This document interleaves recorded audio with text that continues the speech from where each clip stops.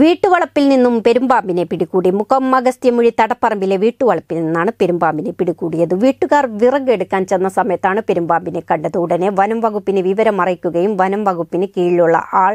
R D വളണ്ടിയറും എൻ്റെ മുഖം സന്നദ്ധ സേന വളണ്ടിയറുമായ കബീർ കള്ളന്തോടെത്തി പാമ്പിനെ പിടികൂടി താമരശ്ശേരി ആർ ഡിഎക്ക് കൈമാറുകയായിരുന്നു